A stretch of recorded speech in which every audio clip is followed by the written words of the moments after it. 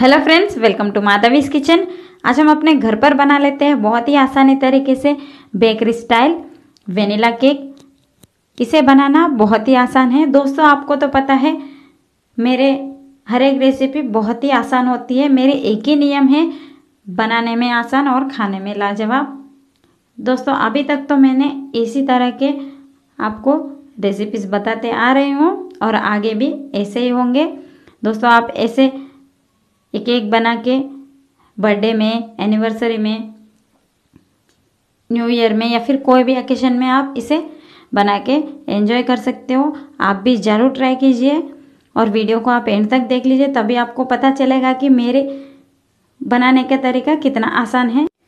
दोस्तों, पहले हम गैस के ऊपर एक कढ़ाई ले लेते हैं और कढ़ाई में हम डालेंगे रेती। अगर आपके पास रेती ना हो तो आप नमक ले सकते हो, नमक भी लेके अच्छे से ऐसे इक्वल स्प्रेड करके एक स्टैंड रख के इसे ढक के हम प्री हीट होने देते हैं अच्छे से। तब तक हमने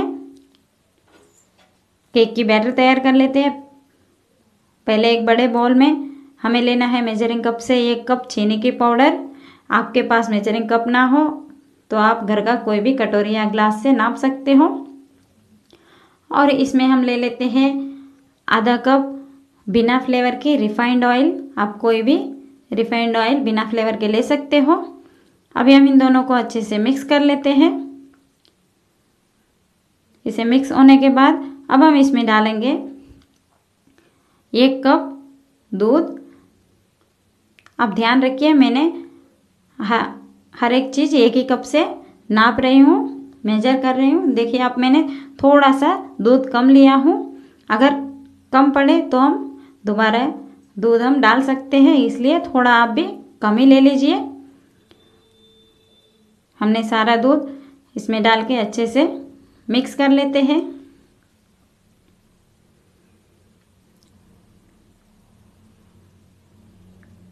अच्छे से आप मिक्स कर लीजिए।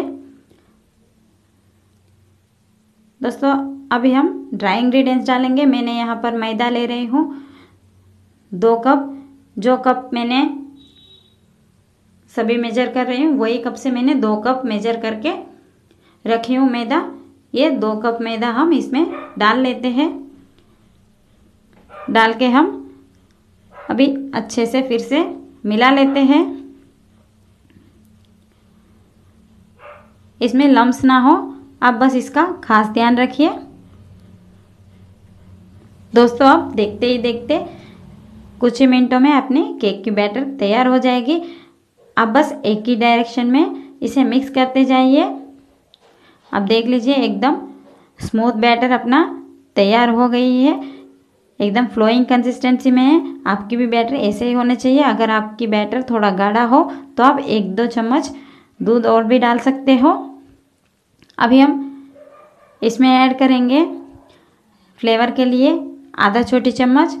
Vanilla essence. अगर आपके पास वेनिला एसेंस ना हो तो आप इलायची पाउडर भी ले सकते हो। और इसमें डालेंगे एक छुटकी भर की बेकिंग सोडा, एक टीस्पून जितने बेकिंग पाउडर।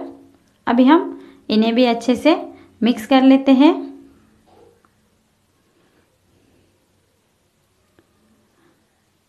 बस हो गया अपना केक की बैटर। तैयार? और केक को बेक करने के लिए केक टिन या फिर ऐसा घर का कोई भी बर्तन आप ले लीजिए। इसे साइड से बीच में ऑयल से अच्छे से ग्रीस कर लीजिए। और इसके बाद हमें एक दो टीस्पून मैदा लेके अच्छे से डस्ट करना है। जैसे मैंने वीडियो में बता रही हूँ, आप बस वैसे कर लीजिए। आप हाथ बिल्कुल भी बर्तन के अंदर मत डालिए। और साइड से भी, बीच में भी अच्छे से मैदे को डस्ट करके, जो एक्स्ट्रा मैदा है, उसे आप हटा लीजिए। ऐसे करने से आपकी केक बिल्कुल भी जलेगी नहीं। अगर आपके पास बटर पेपर हो तो आप बटर पेपर भी मैदे के जगह यूज़ कर सकते हो। अभी हम सारे केक बैटर को इस बॉल में डाल लेते हैं। हम सारे बैटर डालने के बाद दो तीन बार इस बर्तन को अच्छे से टैप कर लेती है। अगर बैटर में कुछ एयर बबल्स हो तो वो रिमूव हो जाएगा। अभी हम इस बर्तन को जो हमने प्रीहीट होने के लिए रेती से रखे हैं, वही कढ़ाई में अभी हम इसे रख लेते हैं और अच्छे से रखने के बाद हम इसे ढक के 30 से 35 मिनट तक लो टू मीडियम फ्लेम में इसे हम कुक कर लेते हैं। जब तक केक बन जाएगा, तब तक हमने केक का फ्रोस्टिंग तैयार हमें यहाँ पर लेना है एक कप विप्ड क्रीम फ्रोस्टिंग के लिए क्रीम हमेशा छिल होना चाहिए और ये क्रीम बहुत सारे बेकरीज में आसानी से मिल जाती है। अब हम इसे अच्छे से बीट कर लेते हैं। मैंने यहाँ पर इलेक्ट्रिक बीटर यूज़ की हूँ। अगर आपके पास इलेक्ट्रिक बीटर ना हो तो आप हैंड बीटर से कर सकते हो, लेकिन उससे थोड़ा ज़्यादा टाइम लगती है। और बीच बीच में आप साइड की जो क्रीम है उसे अंदर करते हुए फिर से बीट कर लीजिए। आप देख सकते हो, आठ से दस मिनट हुई है। एकदम स्टिफ पिक आ गई है। मैंने आपको स्पैचुला से बता रही हूँ। आप देख सकते हो, बिल्कुल भी गिरी नहीं रही है। इसकी मतलब अपना क्रीम एकदम तैयार है। अभी हम इसमें शुगर पाउडर ऐड करते हैं। लेकिन आप ध्यान रखिए कि शुगर पाउडर बिल्कुल फाइन पीसना है या फिर आप छान के ले लीजिए। इसमें पहले से शुगर होती है, इसलिए हमने यहाँ पर सिर्फ़ डेढ़ चम्मच शुगर पाउडर ली है और साथ में आधा टीस्पून वेनिला एसेंस ली है। अभी एक बार फिर से इसे एक मिनट के लिए अच्छे से फिर से बीट कर लेते हैं ताकि शुगर और वेनिला एसेंस अच्छे से पूरे क्रीम में मिक्स हो जाए। बस अपना क्रीम तैयार है फ्रॉस्टिंग के लिए। अब हम इसे थोड़ी देर के लिए फ्रिज में रख लेते हैं। पैंतीस मिनट हो चुकी है। अब हम एक बार चेक कर लेते हैं अपना केक बन गया कि नहीं। आप चाकू या टूथपिक से चेक कर सकते हो। मैंने तो यहाँ पर टूथपिक से चेक कर रही हूँ। आप देख लीजिए टूथपिक बिल्कुल क्लीन है। इसकी मतलब अपना केक बन के तैयार है।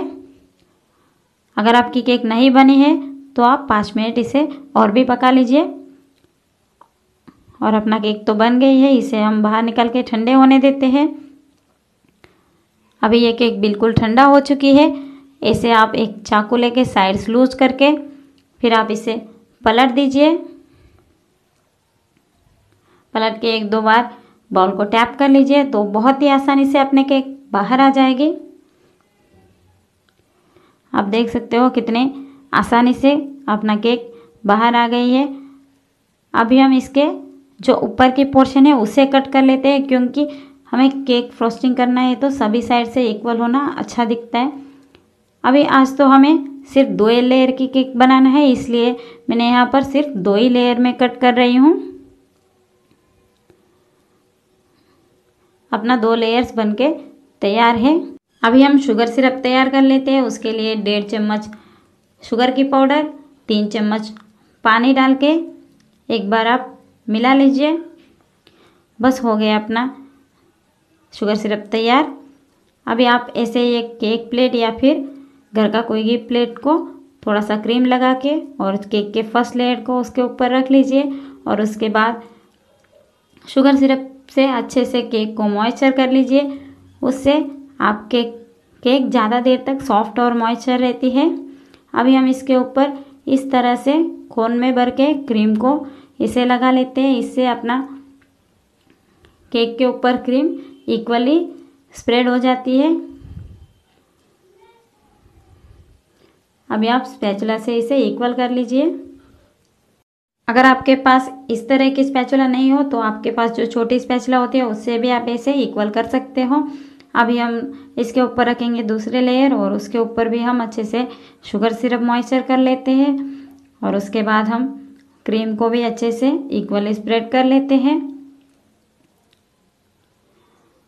और हम साइड्स को भी, जैसे मैंने वीडियो में बता रही हूँ, आप इस तरह से क्रीम लगा के साइड से भी इक्वल कर लीजिए और आपसे जितना हो सके उतना आप एकदम क्लीन शेप देने की कोशिश कीजिए।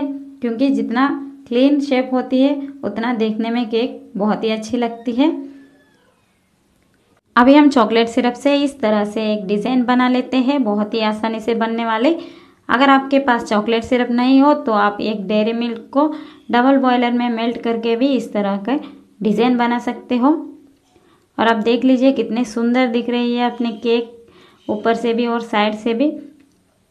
अभी हम वाइट क्रीम को ऐसे स्टार नोजल में लेके इस तरह से बहुत ही आसानी से बनने वाले फ्लावर्स बना लेते हैं। अभी हम इन फ्लावर्स के बीच में ओरियो बिस्किट्स रखेंगे। अगर आपको ओरियो बिस्किट्स नहीं चाहिए तो आप इसे स्किप भी कर सकते हो, लेकिन वाइट कलर फ्लावर्स है और बीच में चॉकलेट कलर की बिस्किट्स अच्छी दिखेगी, इसलिए मैंने यहाँ पर बिस्किट्स रखी हूँ। आप चाहे तो स्किप कर सकते हो। अभी आगे की फ्लावर्स तो प्लेन है। इसके लिए अभी हम क्या करेंगे? जो चॉकलेट को ग्रेट करके इसके ऊपर, जो फ्लावर्स के ऊपर हम स्प्रिंकल कर लेते हैं। इससे देखने में केक बहुत ही बढ़िया दिखती है। और इसके लुक देखिए आप, एकदम बेकरी की तरह। अगर आप चाहे तो अगर आप बर्थडे के लिए बना रहे हो तो आप ऐसे एक हैप्पी बर्थडे की स्टिक भी लगा सकते हो। और जो चॉकलेट की सिरप बची है, उसी से आप यहाँ पर नाम भी लिख सकते हैं। या फिर आप एनिवर्सरी के लिए बना रहे हो तो आप वो भी नाम लिख सकते हैं। अभी तो न्यू ईयर आ रही है तो सभी लोग न्यू ईयर में केक बना लेते हैं। इसलिए हम यहाँ पर हैप्पी न्यू ईयर लिखेंगे। दोस्तों, आप ज़रूर ट्राई कीजिए इस न्यू ईयर में। और आप कमेंट में बता दीजिए कि आपकी केक कैसी बनी है। और दोस्तों, आपको मेरी वीडियो पसंद आई तो लाइक कीजिए, शेयर कीजिए, मेरे चैनल को ज़रूर सब्सक्राइब कीजिए। साथ में बेल आइकन भी प्रेस कर लीजिए। मेरे हर एक वीडियो की नोटिफिकेशन सबसे पहले आपको मिले। ओके फ्रेंड्स, और एक टेस्टी, इजी रेसिपी के साथ फिर से मिलते हैं। थैंक यू, धन्यवाद।